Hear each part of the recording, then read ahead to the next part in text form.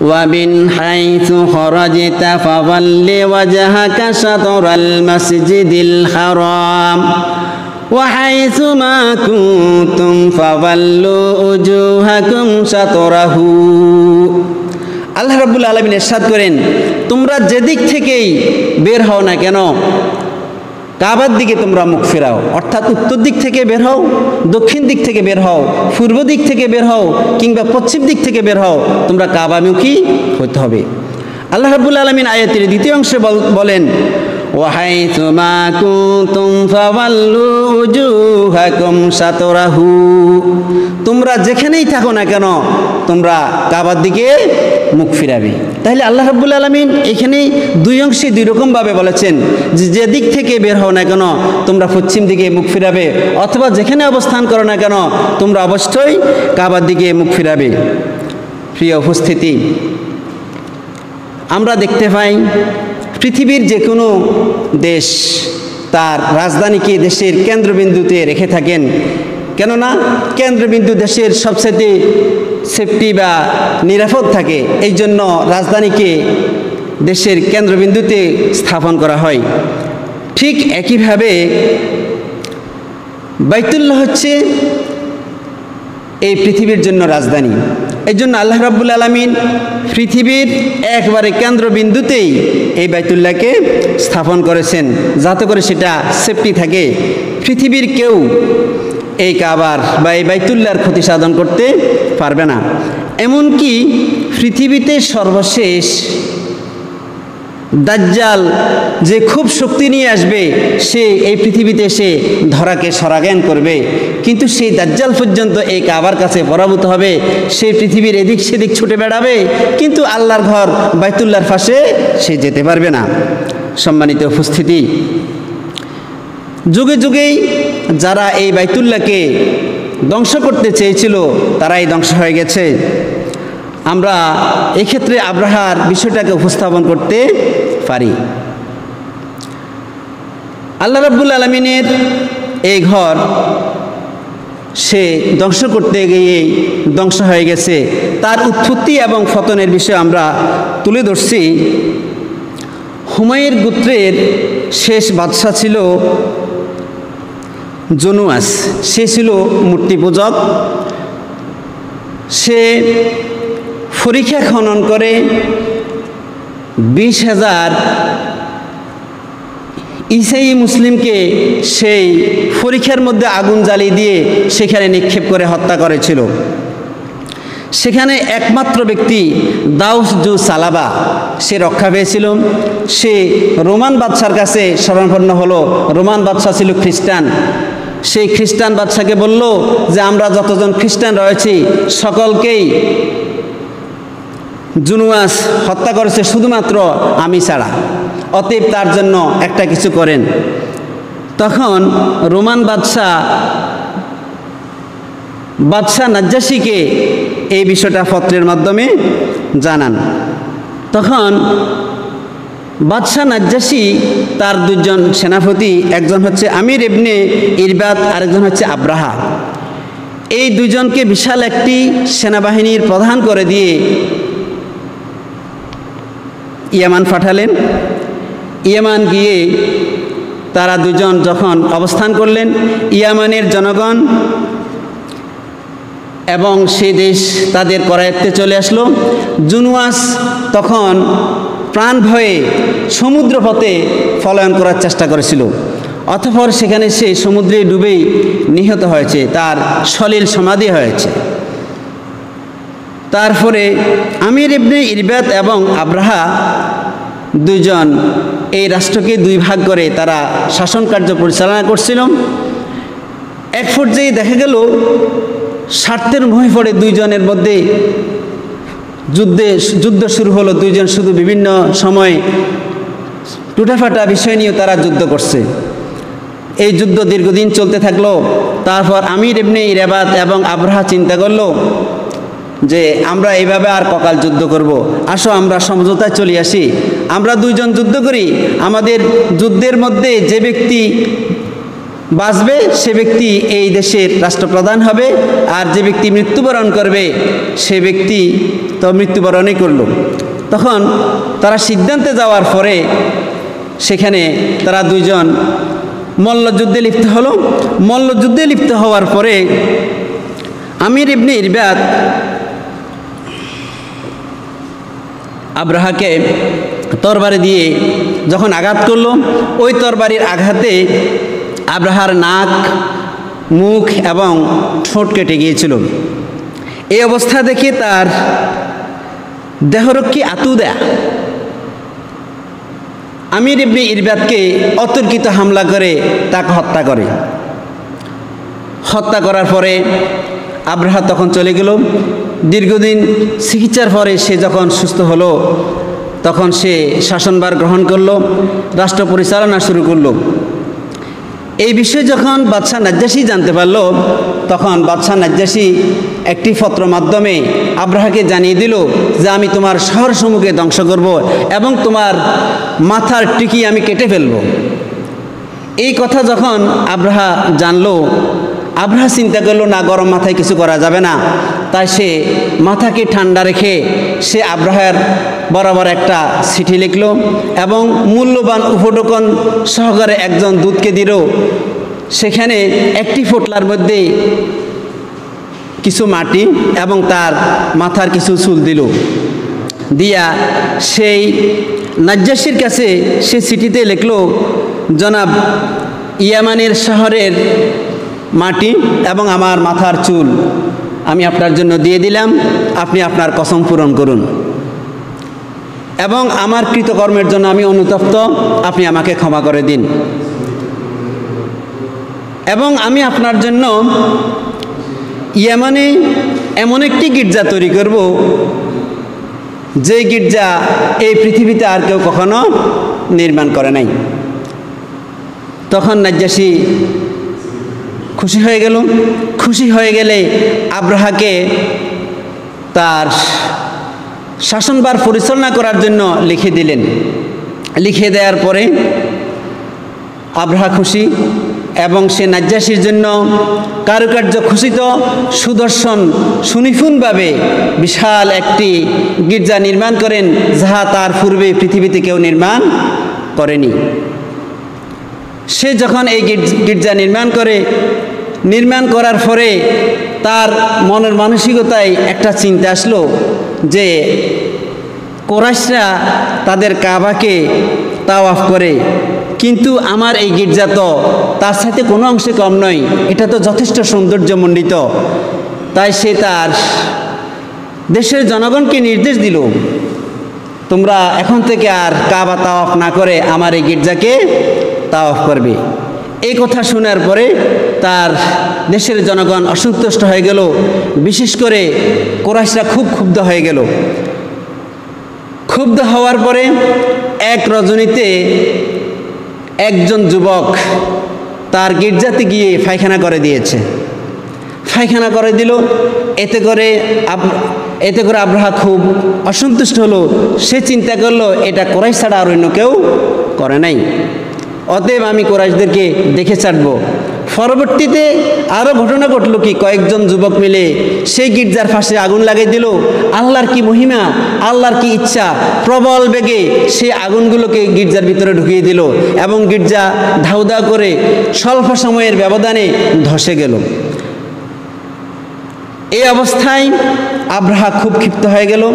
সে সিদ্ধান্ত নিল, আমি বাইতুল্লার একটি একটি করে প্রত্যেকটা ইটকে খুলে ফেলব। এবং সে বিষয়টা নাজ্জাসীকে জানালো। নাজ্জাসী বলল, তুমি যদি পারো, তাহলে কর অসুবিধা নেই, আমার কোনো আপত্তি নাই। তখন নাজ্জাসী তাকে বিশাল একটি উঠ দিল, যে উটের বিশাল একটি হাতি দিল, যে হাতির নাম ছিল মাহমুদ। পৃথিবীর ইতিহাসে এত বড় হাতিয়ার দেখা যায় নাই। যেমন উঁচু, তেমন মোটা এবং তেমন শক্তিশালী ছিল ওই হাতিটা। তাফসিরে ইবনে কাসিরের মধ্যে আছে, আব্রাহা সেই একটি হাতির সাথে আরও আটটা কিংবা বারোটা, অর্থাৎ মোট নয়টা কিংবা তেরোটা হাতি নিয়ে সে বাইতুল্লাহ আক্রমণের জন্য গিয়েছে। প্রতিমধ্যে বিভিন্ন রকমের প্রতিবন্ধকতা সৃষ্টি হলো। জু নফর নামক একজন মুসলিম ব্যক্তি তার মোকাবেলা করল, ফরাস্ত হলো এবং তাকে বন্দি করল। তারপরে আরও কিছু সময় যাওয়ার পরে, কিছু পথ যাওয়ার পরে নুফাইল নামক একজন ব্যক্তি, তাও আরও কিছু মুসলমান সেনাপতিদেরকে নিয়ে তাদের মোকাবেলা করল। সেও তাদের কাছে পরাস্ত হলো এবং তাকে গ্রেফতার করল। প্রথমত নুফাইলকে হত্যা করার ইচ্ছা করল, পরবর্তীতে চিন্তা করল, আমাদেরকে তো কাবার পর্যন্ত যাওয়ার পথ দেখিয়ে দেওয়ার জন্য একজন লোকের দরকার। সেই টার্গেটে নুফাইলকে তারা হত্যা করে নাই। হত্যা না করলে তাদের পথ নির্দেশক হিসাবে তাকে সাথে রাখল। প্রিয় উপস্থিতি বাইতুল্লার অদূরে গিয়ে তারা তাবু স্থাপন করল। তাবু স্থাপন করে দিয়ে মক্কায় আব্রাহা একটি দূত প্রেরণ করল। যে সেখানে তাদের বড় নেতা যিনি, তাকে তুমি নিয়ে আসো। এবং বলে আসবে, আমরা তাদের সাথে যুদ্ধ করতে আসি নাই। কোরাসটা যদি আমাদের কাজে বাধা দেয়, অর্থাৎ বাইতুল্লাহকে ধ্বংস করতে গেলে তারা বাধা দেয়, তাহলে পরে আমরা কেবল তাদের সাথে যুদ্ধ করব, অন্যথায় তাদের সাথে আমরা যুদ্ধ করব না। শুধুমাত্র বাইতুল্লাহকে আমরা ধ্বংস করব।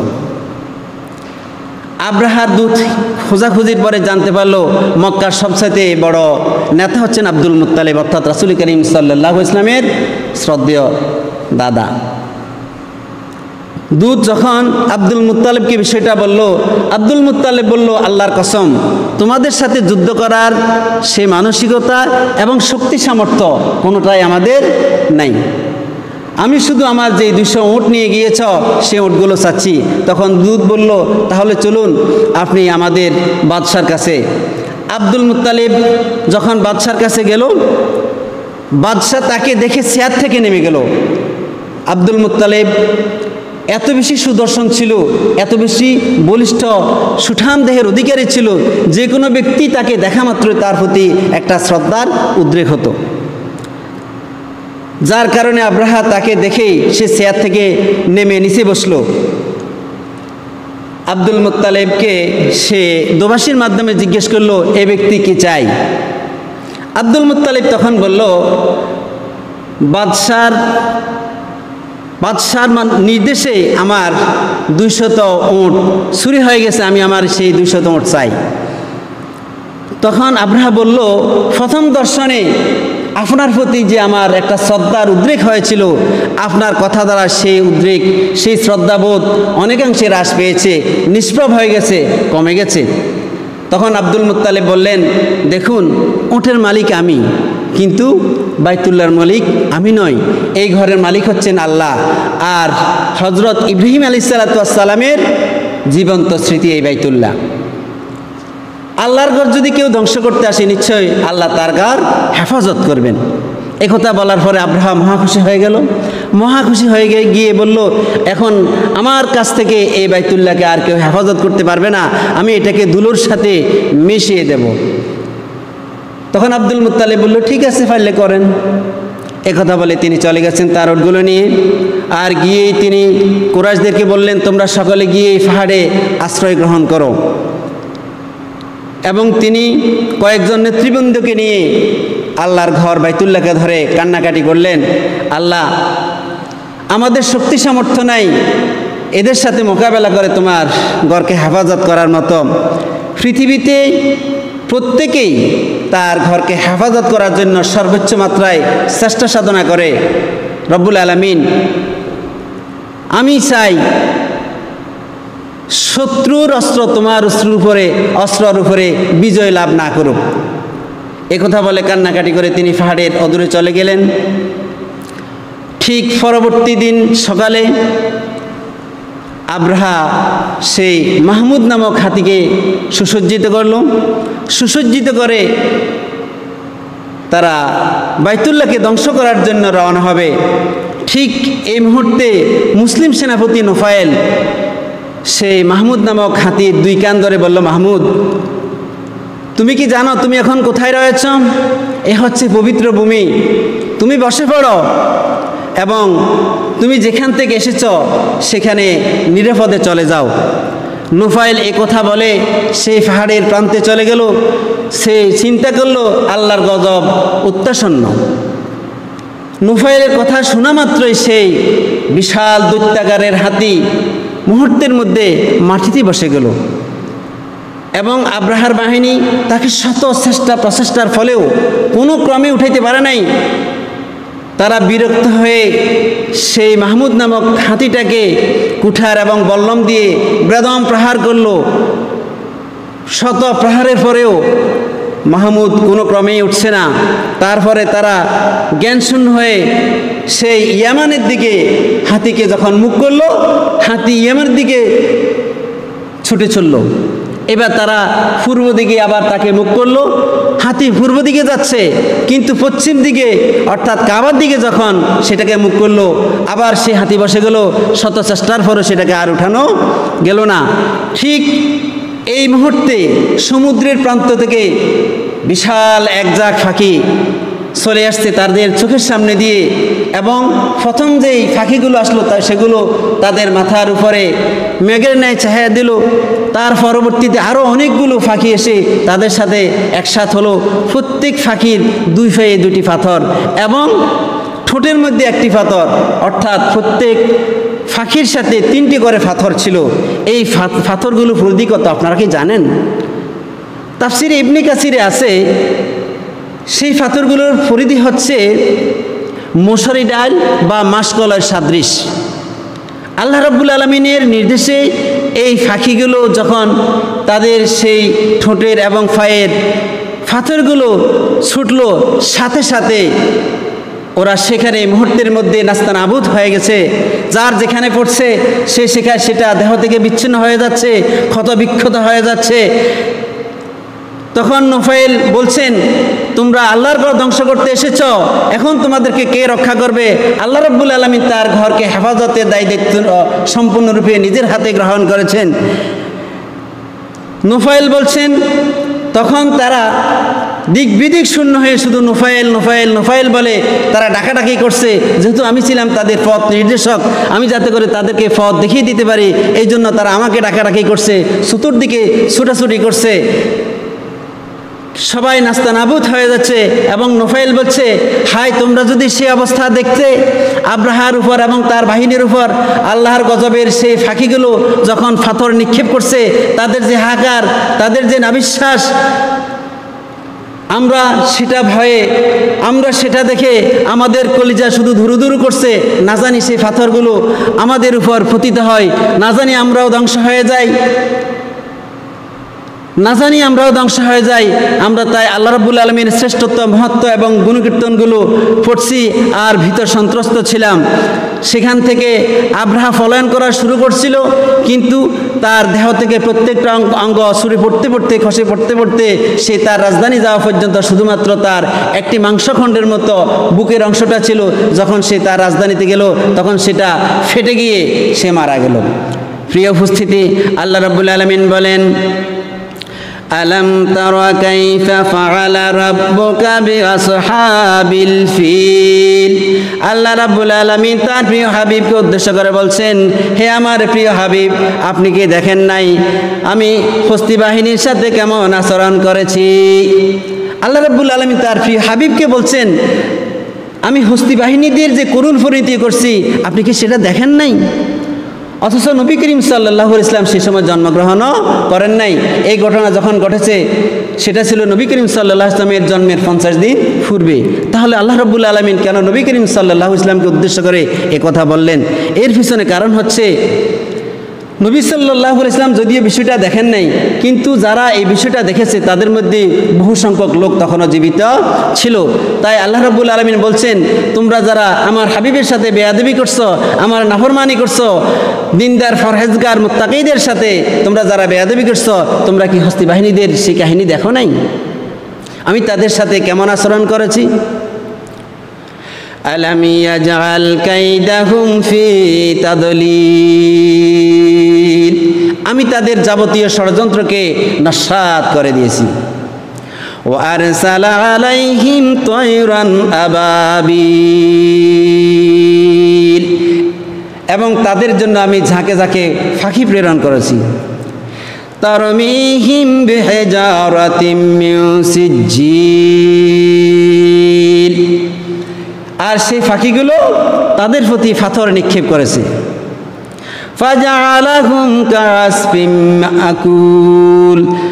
আর তারা বক্ষিত তৃণে পরিণত হয়ে গেছে। অর্থাৎ গরু, ঘাস অথবা ভুসি খেলে যেরকম সেগুলো একবারে নাস্তা নাবুদ হয়ে যায়, ঠিক আল্লাহ রাব্বুল আলমিনের সেই ফাঁকি কর্তৃক নিক্ষিপ্ত পাথরে তারা নাস্তে নাবুদ হয়ে গেছে। প্রিয় উপস্থিতি, আল্লাহ রব্বুল আলমিন কোনো বিশাল আকারের কোনো পাথর নিক্ষেপ করেন নাই। মশারি ডালের মতো এবং মাসকলাইয়ের মতন পাথরে নিক্ষেপ করছে। আল্লাহ রব্বুল আলমিন যদি ইচ্ছা করতেন তাদের জন্য মনে মনে, টনে টনে অথবা বিশাল পাহাড় সদৃশ পাথর নিক্ষেপ করতে পারতেন, কিন্তু কিন্তু কেন করেন নাই? আল্লাহ রব্বুল আলমিন তার যে শ্রেষ্ঠত্ব, তার যে মহত্ব, সেটাকে প্রদর্শন করার জন্য এবং তাদেরকে অপমান করার জন্য আল্লাহ রব্বুল আলমিন ছোট ছোট পাথর দিয়েই তাদেরকে হত্যা করেছেন। প্রিয় উপস্থিতি, আল্লাহ রব্বুল আলমিন আল্লাহ রব্বুল আলমিনের কাছে এই বাইতুল্লাহর কত মর্যাদা, কত মহত্ব? আল্লাহ রব্বুল আলমিন বলছেন, ফালিয়াবুদু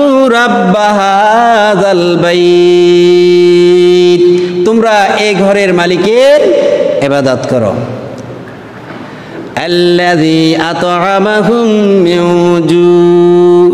যিনি তোমাদেরকে ক্ষুধা ফেলে খাদ্যের বন্দোবস্ত করেন। ও আমানাহুম মিন খাউফ। এবং যখন তোমাদের মনের মধ্যে ভীতি সঞ্চার হয়, তখন তিনি সেই কঠিন পরিস্থিতিতে হতাশা অবস্থায় আল্লাহ রাব্বুল আলমিন নিরাপত্তা দান করেন। আল্লাহ রাব্বুল আলমিন বলেন, ওয়ালা তাহেনু ওয়ালা তাহাজানু ওয়াতুমুল আলাউনা ইন মুমিনিন। তোমরা ভয় পেও না, তোমরা হতাশ হয় না যদি তোমরা মোমেন হয়ে থাকো। তোমাদের জন্য কোনো হতাশা নাই এবং তোমরা কখনো বিচলিত হবে না। প্রিয় উপস্থিতি, এই যে করোনা ভাইরাস, বিশ্ববাসী এখন হতাশাগ্রস্ত।